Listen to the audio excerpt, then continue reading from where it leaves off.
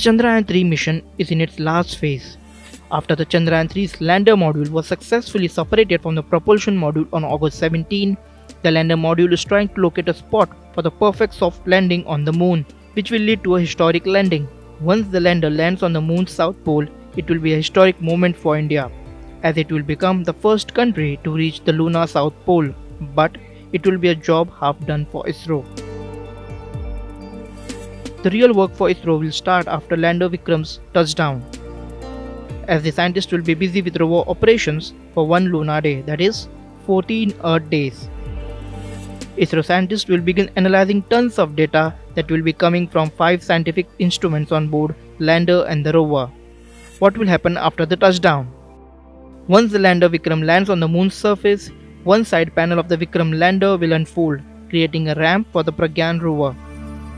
The six-wheeler Pragyan rover with the national emblem and the ISRO logo embossed on its wheels will get down from the Vikram lander's body on the lunar surface after 4 hours, moving at the speed of 1 cm per second. The rover will use navigational cameras to scan the lunar surrounding.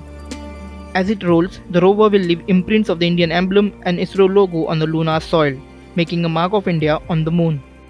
The rover has instruments configured with payloads to provide data on the moon's surface.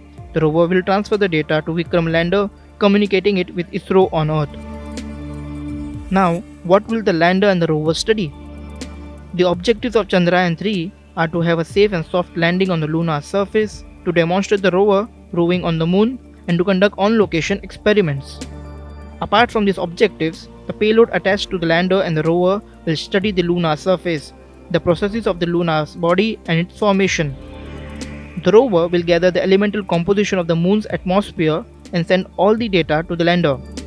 With three payloads, the Vikram lander will measure the near surface plasma density, measure the lunar surface thermal properties, measure seismicity around the landing site, and delineate the lunar crust and mantle structure. The solar powered lander and rover will have about two weeks to study the lunar surroundings. ISRO says the Chandrayaan 2 orbiter can also be used as a contingency communications relay.